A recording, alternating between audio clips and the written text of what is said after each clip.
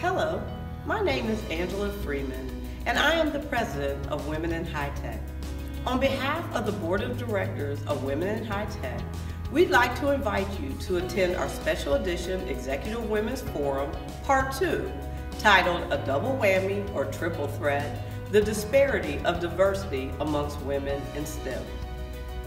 This interactive forum will be held here at Barnes & Thornburg on February 5th, 2020, and will feature a privilege exercise, a discussion about empathy, and a rare and unique panel of diverse female leaders in the fields of science, technology, engineering, math, entrepreneurship, and innovation and intellectual property.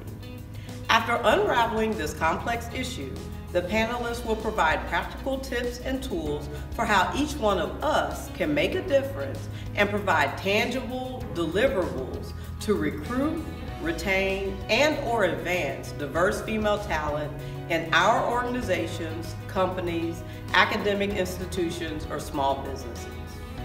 Did you miss the inaugural special edition EWF in 2018 or part one?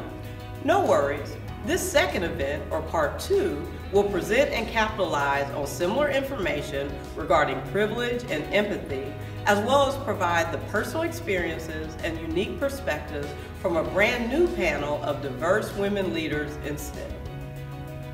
For more information and to register for this event, please visit our website at womeninhightech.org slash event. We hope to see you there.